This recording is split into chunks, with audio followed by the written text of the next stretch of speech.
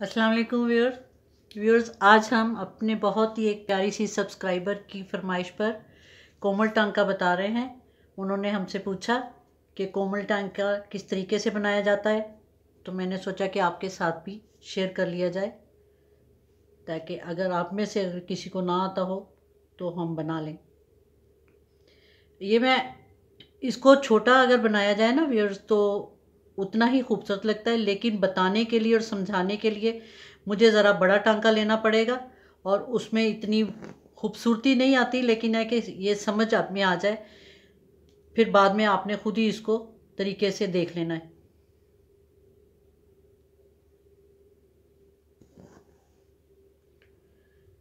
जैसा कि हम ये वाला टांका बनाते हैं, जिसमें सिंधी कढ़ाई में हमें ये पहले, सबसे पहले ये बेसिक स्टिच यही है। इसी तरीके से इसमें हमने बनाना है।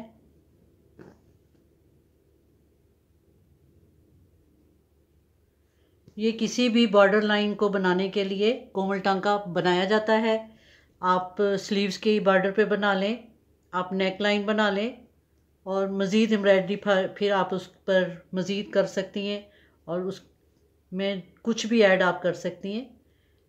लेकिन बेसिक जो है, कोमल टांके का भी पहला स्टेप यही है और सिंधी कढ़ाई का भी पहला स्टेप यही है। बस ये हम इतना ही बनाते हैं।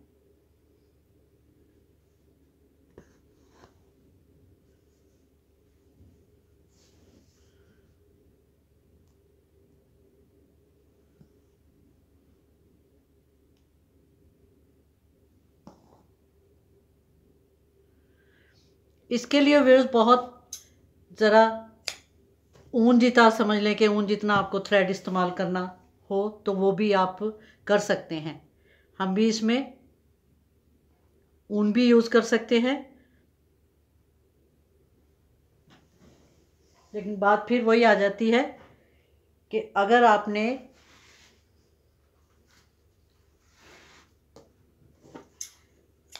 मैं आपको बता रही हूँ, इसका मकसद सिर्फ़ ये है कि आपको इसका स्टाइल समझ आ जाए कि ये किस तरीके से होना है।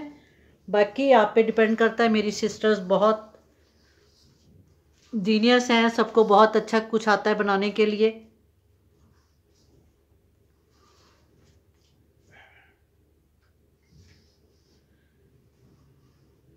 ये मोटा सा हमने धागा डाल लिया।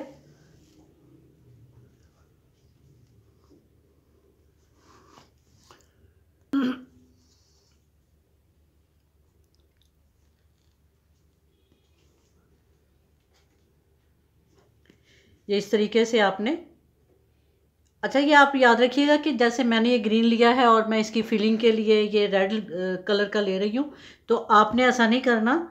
आपने ये एक ही कलर का लेना है। यह मैं समझाने के लिए सिर्फ़ बता रही हूँ ताकि आपको इसमें आसानी हो, कि आपको आसानी से पता चल जाए कि ये ग्रीन वाला पहला स्टेप है और ये रेड वाला बाद में। लेकिन आपने दोनों एक जैसे लेने हैं।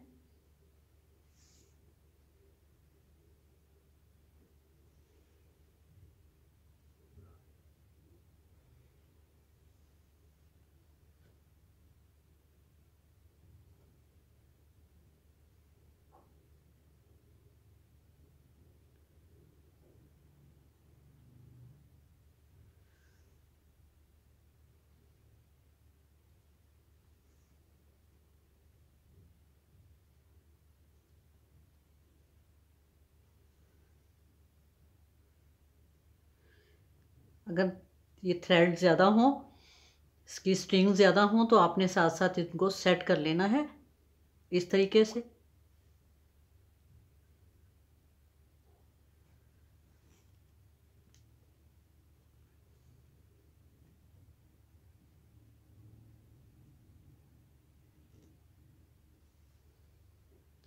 इसको और आपने छोटा अगर बनाएँगी तो और ज़्यादा ये खूबसूरत लगेगा। ये इस तरीके से। ये देखें, ये बहुत प्यारा लगता है, ये जब बन जाता है, इस पर आपने व्यूज़ आपने अगर नेक लाइन बनानी है, कोई टॉप वगैरह जैसे कि आजकल होता है, उसमें आपने अगर ये तीन लाइंस भी बना लें नेक पे तो बहुत खूबसूरत लगेगा। अगर अगर जहाँ जिस जगह आप गैदरिंग आई मीन के चुन्नट डाली जाती है योग के साथ तो उस जगह योग पे भी आप ये तीन लाइन लगा लें बेबी की फ्रॉक्स पे लगा लें नीचे लगा लें तो ये बहुत खूबसूरत लगता है। आप ट्राई कीजिएगा, आपको बहुत अच्छा लगेगा। मेरा मकसद ही आपको इजी से इजी एम्ब्रॉयडरी और इजी से इजी कटिंग बताना है। तो इजाज़त दीजिए। आज की इस वीडियो को देखने के लिए शुक्रिया। अल्लाह हाफिज़।